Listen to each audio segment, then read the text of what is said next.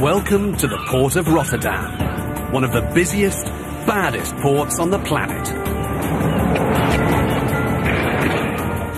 Getting the biggest ships in the world into dock without a catastrophe is a never-ending challenge. Today, Rotterdam has a full roster. Three mega movers with cargo that push the limits. The mega tall, the mega deep, and the mega wide. And they're all heading in at the same time.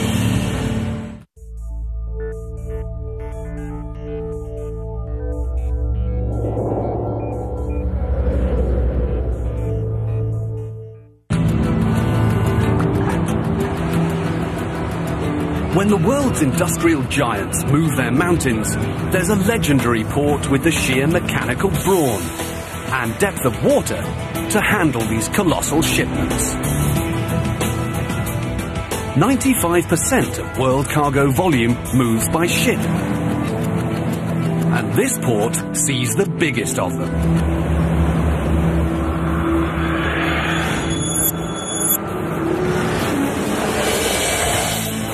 Located on the Netherlands coastline, the port of Rotterdam's winding main channel stretches over 40 kilometres.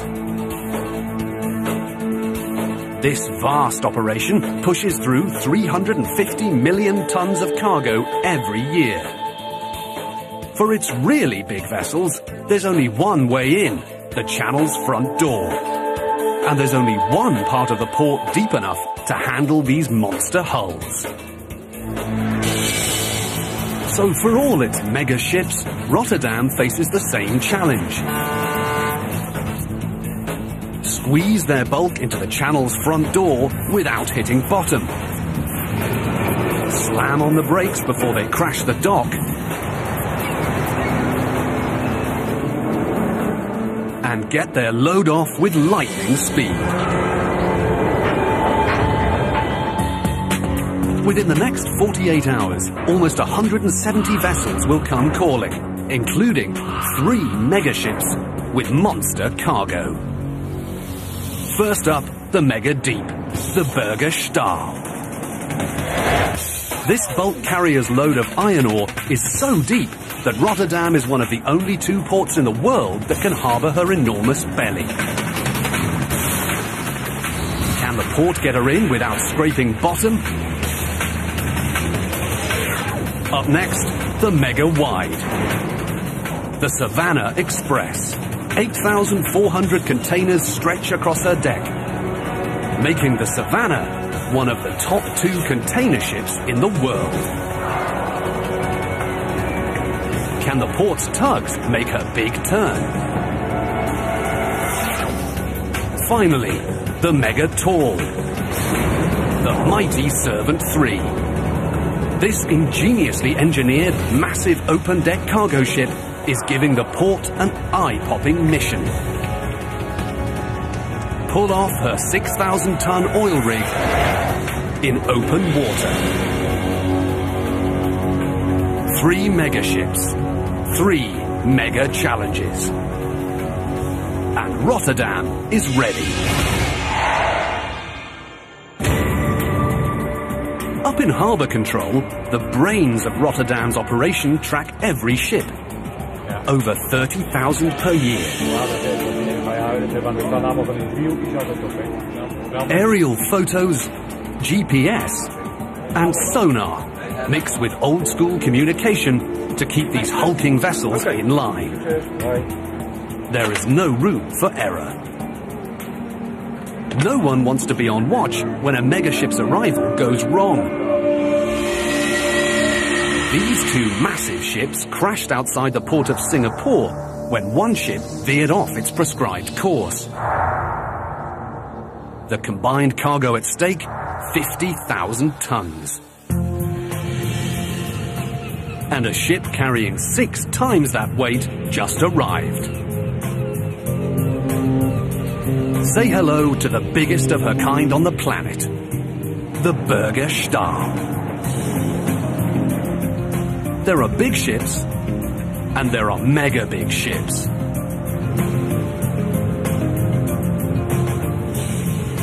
Her name means steel mountains, and she is one.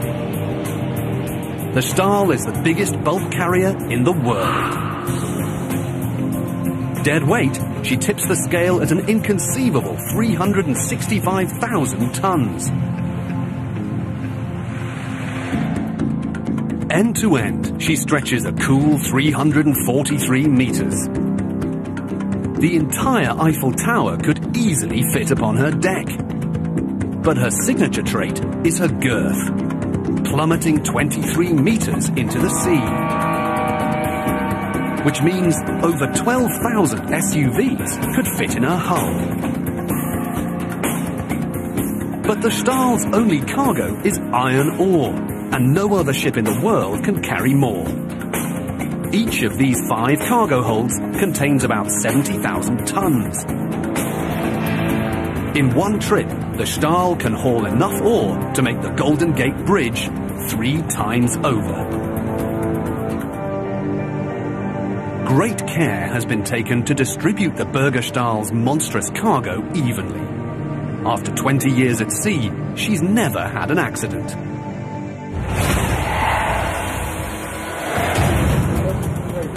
Up in Rotterdam's Port Authority, the airwaves are humming. Because megaship number two is about to arrive, with a haul of mega tall proportions. Meet the mighty Servant 3 and her 6,000 ton hunk of cargo. Of all the ships that come to Rotterdam, this one might be the most unique. At first glance, this ship seems to be missing her sides, but that's what makes her perfectly designed for her job.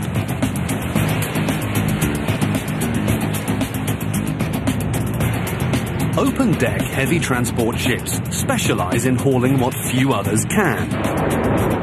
The weird. The unwieldy. Even a full-size destroyer. Looking like a giant upside-down insect, this is actually the living quarters of an oil rig. The three steel legs tower above the water two times the height of the Statue of Liberty. And she weighs as much as 17 jumbo jets.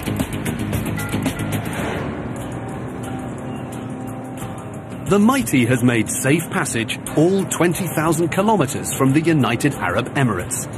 And she's ready to take a load off. But Port Authority doesn't have the luxury to focus on one shipment. Another ship with a mega wide load is ready to move. Just one look at her 8 meter bow point, you know she means business. Make way for the Savannah Express and her island of container cargo. She's impressive. She should be. The Savannah ranks as one of the two biggest container ships in the world. You're looking at 4,444 containers, each about the size of a trailer home. And that's just what you can see on her deck. There's just about the same below. Remove her cargo, and two space shuttles sitting wing to wing could just about fit on her deck. Knowing how to load cargo, packing everything from toys to trucks to TNT, is a challenge. There are some hard and fast rules. For stability, your heaviest containers go below. Keep the dangerous goods and flammable liquids above deck, because you never want an explosion in your hull. Any more than seven stacks in front of the bridge, and the captain can't see. Too much weight in the center, she sags. Not enough, she hogs. And that's before the ship leaves the dock. Once you factor in rough seas, changes in current, and wind shear, container shipping becomes a risky business with colossal stakes. The Savannah has travelled 20,650 kilometres from Shanghai without a mishap. But now, she's got to navigate one of the busiest ports in the world. Offload her precious cargo and keep to schedule. And that's only one ship. Heb voor jou de van. Up in harbour control, the Mega Tall, the Mega Wide, and the Mega Deep are all calling to enter Rotterdam at the same time. For the Port Authority, it's all hands on deck to get these mega movers safely to dock. But despite these vessels' command of the sea, before the day is done, one of these ships is going to sink.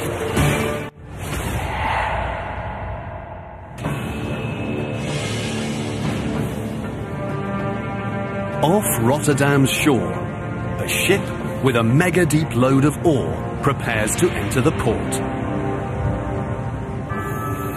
Rotterdam is just one of two ports in the world that have enough water to harbour this baby. But as deep as Rotterdam is, it all comes down to nature. The port still depends on the highest tide to keep the Berge Stahl's massive hull from hitting bottom. The Stahl has safely travelled nearly 8,000 kilometres from Brazil. Captain's orders, head for port. The Stahl is ready to enter Rotterdam. But is Rotterdam ready for the Stahl? Navigating this beast through the port's front door gives the phrase tight squeeze a whole new meaning. Here's how it works. When the Berge Stahl approaches the port's entrance, the channel's width is not a problem. It's the depth. 24 meters. That means any ship that enters Rotterdam has just 24 meters depth clearance to get her hull through. The Berge Stahl's hull depth 23 metres. And that last metre of water fills up with sand awfully fast. And there lies the problem. But Rotterdam's Port Authority has the perfect tool in their arsenal. She's called Cornelia, but ladylike she's not. Cornelia is one of a vast dredging fleet that constantly clears the channel floor to ensure Rotterdam's megaship's safe passage. 50 tons of draghead rig plunge to the bottom. On every trip, this massive vacuum sucks enough silt and sand into her hopper to fill almost 600 dump trucks.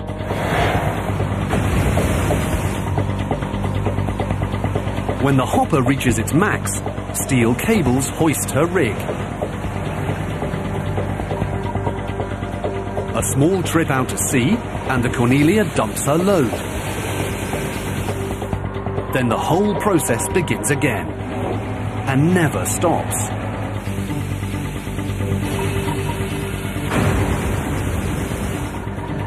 Twenty-four hour shifts, 365 days per year.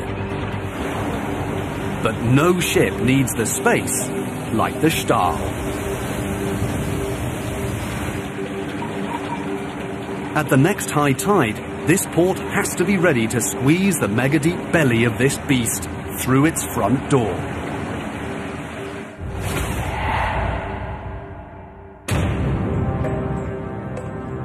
But first, another hulking vessel is coming in with a load that's mega wide.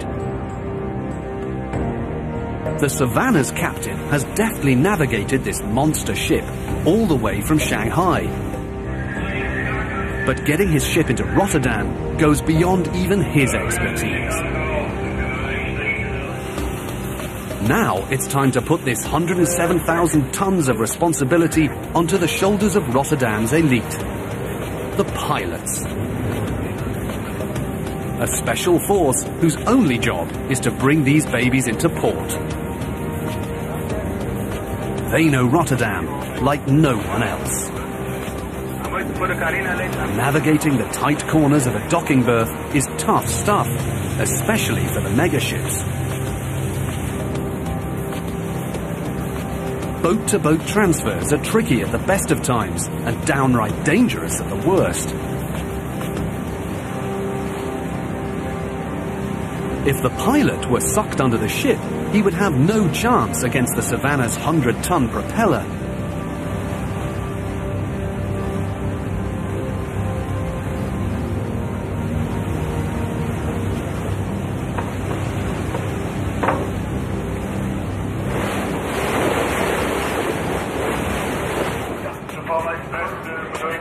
Approaching the port, a load this wide presents an incredibly tough navigational challenge. Imagine steering from the back, a ship the length of three city blocks, and you can't see six city blocks in front of you.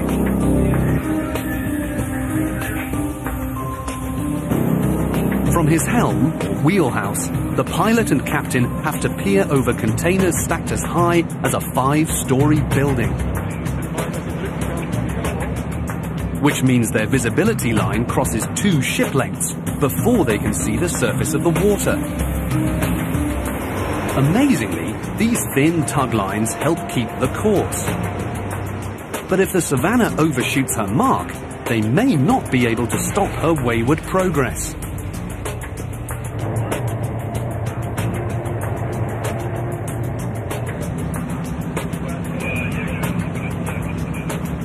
Pilot-to-tug communication is critical, since the pilot often can't see the dwarf tugs next to the ship.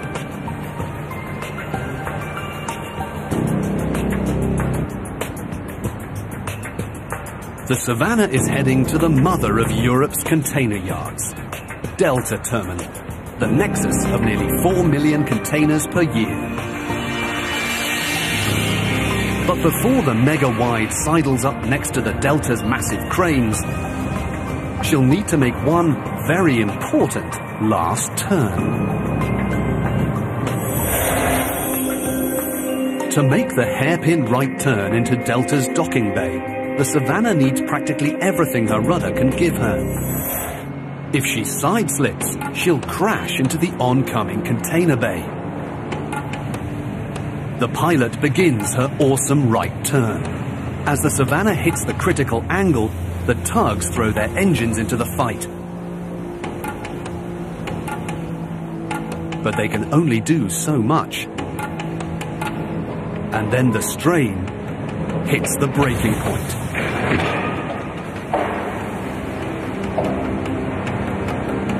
Her stern begins to slip closer to the docks. The rear tug scrambles to get their line reattached.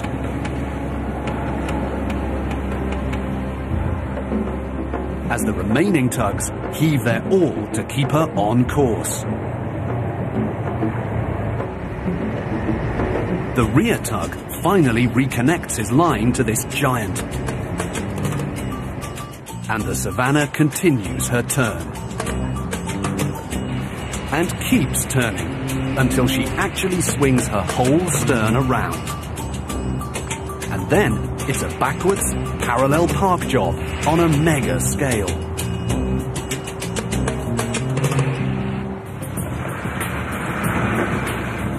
With one last thrust of her propeller, her giant sides glide to their final stop.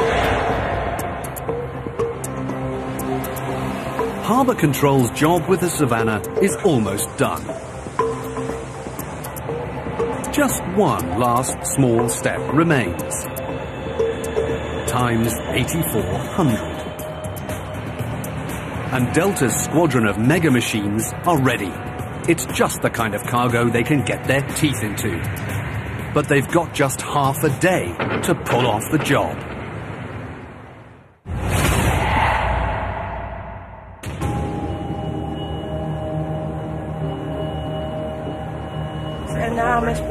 In harbour control, eyes are drawn to another mega ship. This one with a mega tall load. The mighty Servant 3 has made it through Rotterdam's front door without a problem. She's heading for the deepest water in the port to offload her cargo. And the captain radios an urgent message. The mighty is about to sink. Exactly as she is supposed to. This ship has the incredible ability to take on water and sink its deck, two stories down into the sea, which is the best way to unload her monster rig. The Mighty moves into the deepest spot in the port and readies her anchor.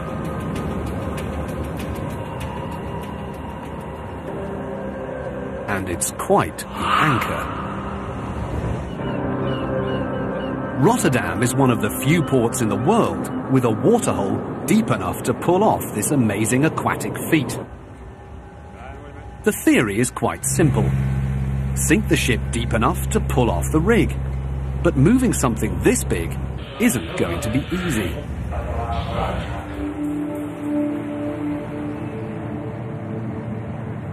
The captain is ready. Step 1. Prep the ship. The Mighty's 20-story derrick has to clear the deck. Everything you now see will soon be deep underwater. Step 2. Cut through the sea fasteners. 24 monster steel bands, each the length of two school buses, currently lash the Mighty's rig to her decks. They have to take them off the same way they got them on, with a thousand degrees of heat. The joints are solid steel. It takes a quarter of an hour to cut through just one.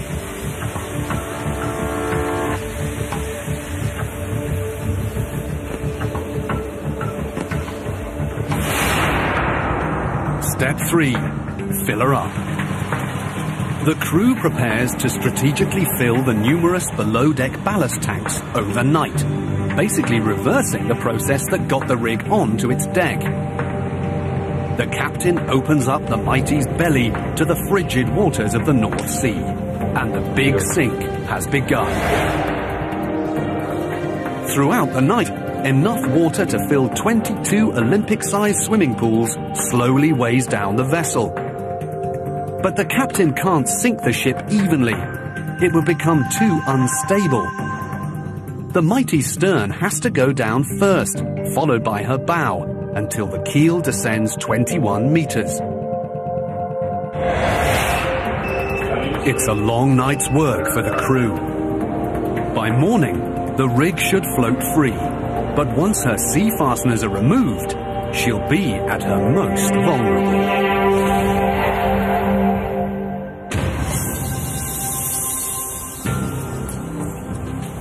It's 3:30 a.m. Outside the port, the mega deep Berge Stahl pushes through the last stretch of open sea before her grand entrance, when the port hits high tide. Rotterdam is bringing in her biggest ship, Van de laatste kust passeert net het lage licht. and the Stahl is ready. The Burger Stahl, Burger Stahl. The helicopter will be ready above your ship at 0430, so it's ETA rendezvous 0430. The captain has brought his vessel safely to the mouth of the Euro Channel, the port's front door. But getting her through it goes beyond his expertise. It's time for Rotterdam's experts to take over. It's time for the pilots.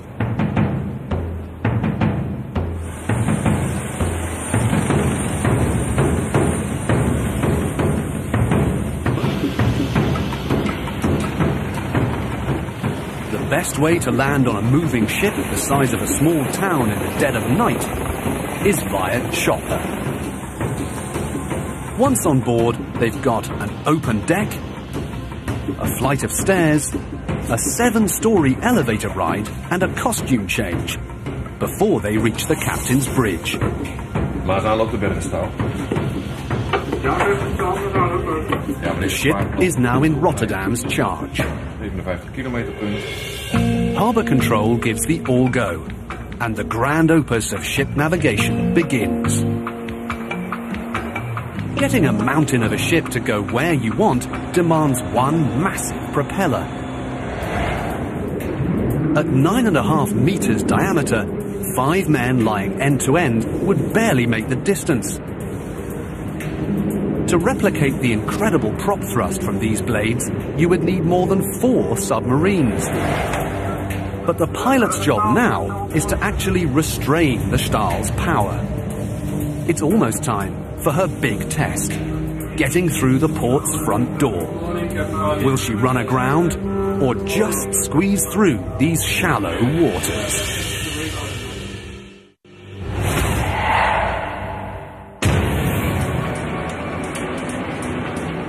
The Savannah's mega wide load has been safely docked. But now, the port must face another challenge. How do you unload one of the world's largest container ships in less than 24 hours? Giant robots. Almost every machine you now see is controlled by computer. And these high-tech Titans' output is staggering. Lined up end to end, the containers that pass through Rotterdam in one year could wrap around the world. This sea of industrial muscle is Delta Terminal. If the Savannah is going to make it to her next port on schedule, Delta's heavy metal minions have got to make quick work of her colossal cargo. Four 40-story loading cranes hover like vultures. Then, these bruisers attack Savannah's stacks. Overhead cable systems fast-track crane operators over their new turf. Even from 10 stories up, the human eye is the best judge to expertly place the stackers on all four corners. But then, the machines take over. Each loading crane can deadlift 40 tons. Below, the container's chariot awaits.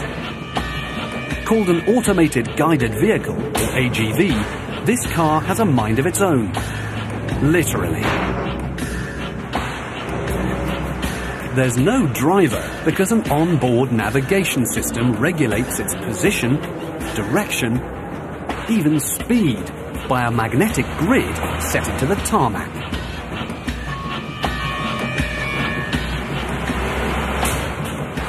Once the container is loaded on the AGV's back, top-mounted infrared eyes ID the container and instantly roll the load to a preset stacking location, where another giant robot takes over. The stacking crane. towering five stories in the air, this mega machine can grab, haul, and drop the equivalent of five school buses. Like the AGV, she takes orders from no man. Every move along her magnetic track is totally pre-programmed. Just like the other 37 cranes.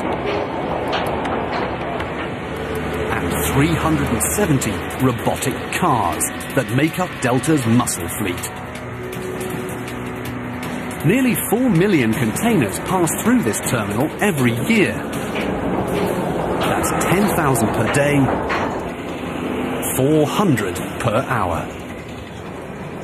Tracking that kind of inventory requires some serious computer power. Delta's mainframe monitors the contents and location of every container in her matrix. By the time the Savannah pulled up to her dock, the computer had totally simulated her entire offloading plan. Container shipping has only been around for about 50 years, but today 75% of the world's goods move inside these steel boxes. When you take a bottle of milk out of your refrigerator, it probably comes with a container or when you put a videotape in your in your video player, it probably comes with a container. Almost all of Savannah's containers are in motion for their final destination. But a few are about to get a second look. A very powerful look. this container is in for a scan 25 times stronger than your average human X-ray.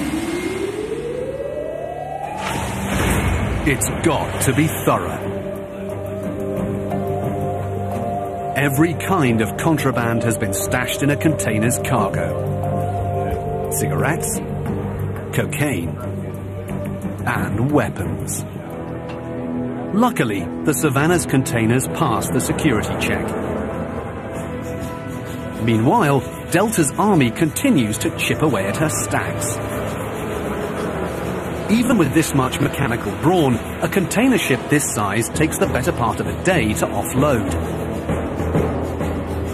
Soon, her decks will be stacked with every kind of good imaginable, and she'll take to the seas once again.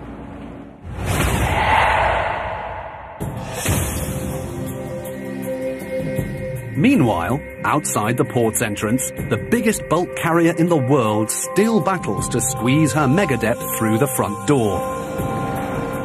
The Berge Stahl is heading in, and the port is ready for her. The channel entrance has been dredged to the required 24 meters, a mere one meter deeper than the Stahl's gargantuan hull. Additional GPS units are placed to back up the ship's course. Almost 10 years of ship navigation are under these pilots' belts before they're worthy of bringing home a megaship this massive. Precise movements are paramount because ships this size are in a whole other category of steering. Built 450 meter. Cut the engine, and the Stahl would take 10 kilometers to come to a full stop. Misjudge your angle, it takes almost a half hour to turn her around. And in the channel's tight quarters, that's not an option. If she runs aground, it's like a cork in a bottle. Port traffic screeches to a halt. So the port calls in a little backup. Times four. Where the Mega Wide needed the tug's help with her turn, the Mega Deep really needs their help to slow down. But the fight doesn't seem fair. The Stahl is more than 800 times the weight of these tugs. They might be small, but they're feisty. De bergstaal, ja, en die komt om de Noordvergang.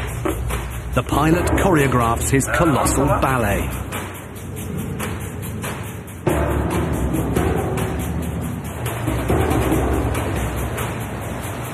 The first tug moves in. No single man could ever hoist the Stahl's lines. Hand over hand, hundreds of pounds go over the side.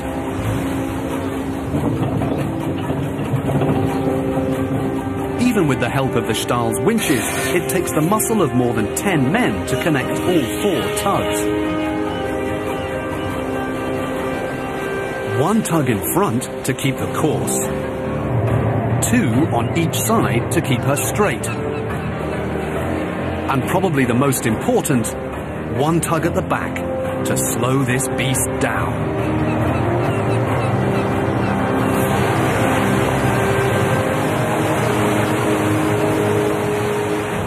It all needs to move as one organism, so constant communication is critical.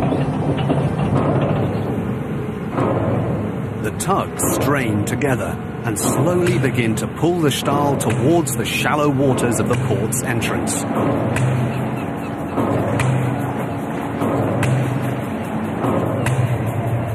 Now, they just need a little help from the tide.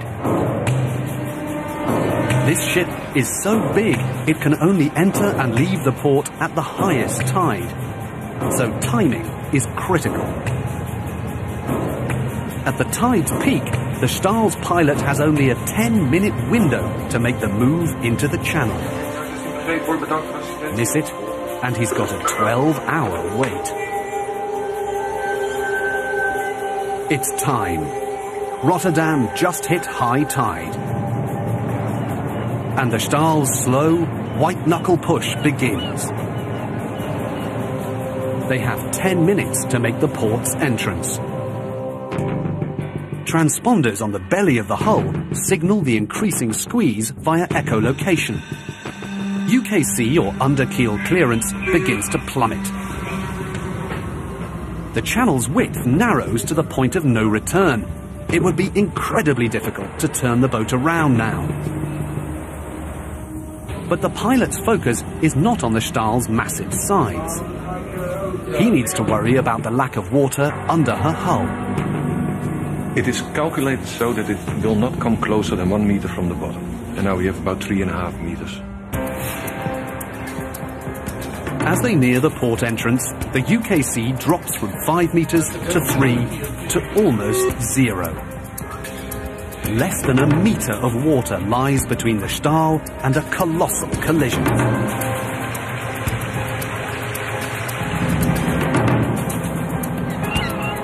The Stahl is moving precariously close to running aground. And high tide's peak is almost over.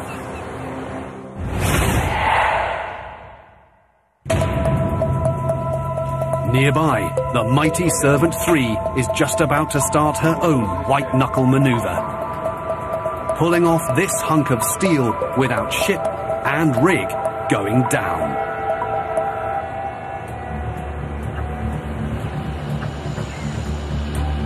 In Rotterdam's deepest waterhole, the mighty Servant 3's captain surveys the situation. For the last 24 hours, his ship has taken on close to 7,000 gallons of water and sank 22 meters under her new water weight.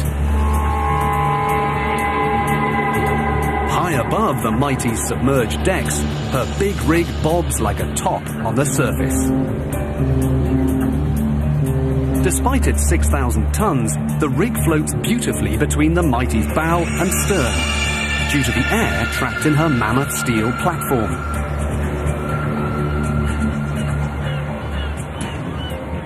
The Mighty is ready to offload. But pulling this mega tall baby off her decks is going to be a tricky move.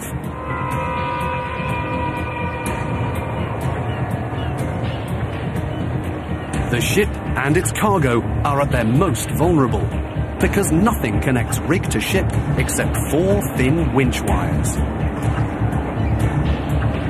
Two coming off the aft buoyancy casings and two from either side of her bow.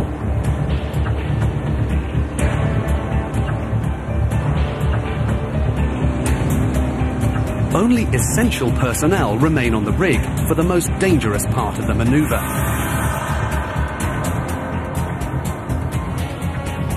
To best pull the rig off, the tugs strategically tie their lines to the rig's right side and wait for the signal.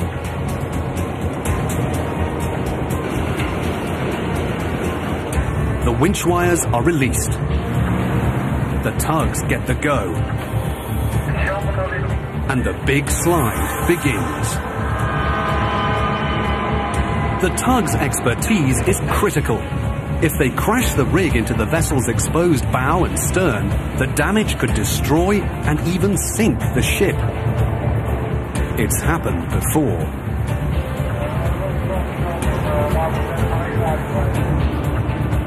The rig is a quarter way off the Mighty's deck.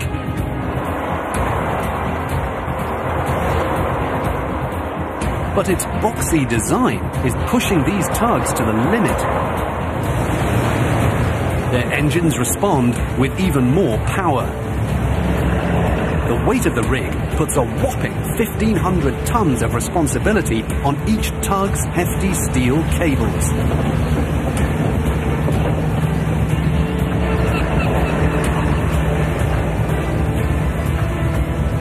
The rig is halfway off. The captain keeps a constant vigil on the balance of his submerged deck. If she starts to list too much, he'll shut the maneuver down. If the rig tips too far, it could also become a very dangerous situation for the ship and crew. but the mighty stability remains solid. The rig has only six meters left. And then, after one final tug heave,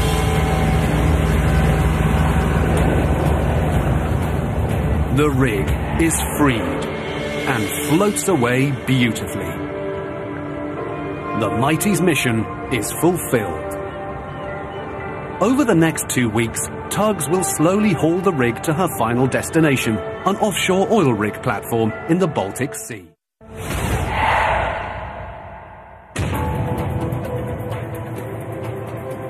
The Stahl continues her agonizing big belly glide. For close to 10 minutes, her mega deep hull has come incredibly close to scraping bottom, and high tide's peak is almost over. If she ran aground, extricating her cargo to get her unstuck could mean floating cranes and two days' work at the very least.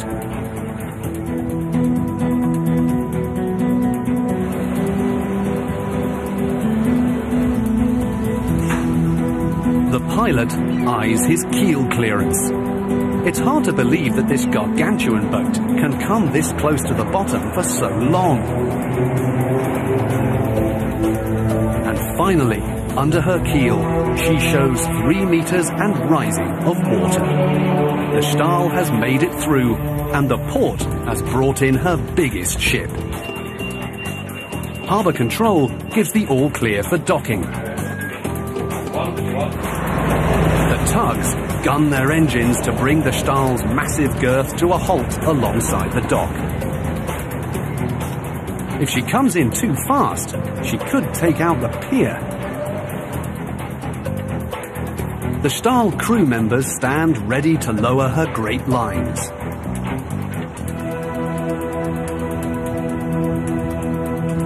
At last, the Stahl's great mass comes to a final stop. Her mission is almost complete.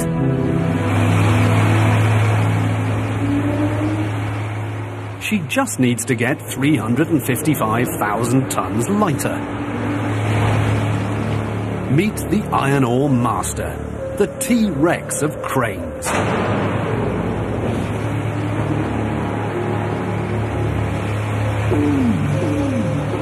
14 times the weight of your average construction crane. And 19 stories high.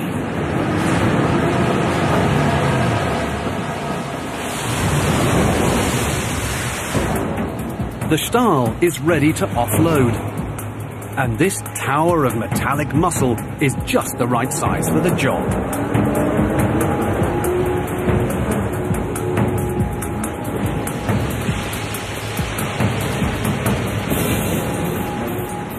Once above the Stahl's hatch, her jaws plummet down to devour the awesome ore piles below. These mammoth teeth can get around an amazing 63 tons of ore in a single haul.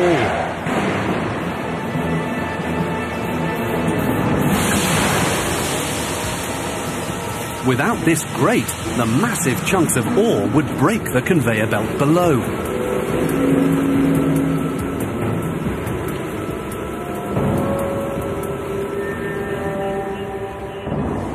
In a single trip, the Stahl has contributed enough iron ore to make 300,000 cars. This mega mover's awesome arm gives her close to 60 meters of workspace, and she'll need it. Even with two other cranes just like her. Because the Stahl's deck hatches span close to four football fields across her decks. When the first hold is close to empty, down goes a full-size tractor to get every last bit of precious cargo.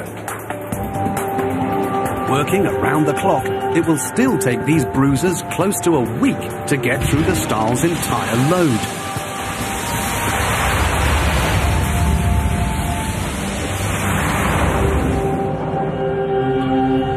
The Stahl will soon command the seas once again. After all her ore is removed, she'll refuel, and then deep inside her hull, a crew of painters will resurface her ballasts to prevent rust. Then she'll head back for her next mission, to Brazil, and the only other port in the world that can handle the belly of this beast. Across the harbour, the Savannah's mission is almost complete.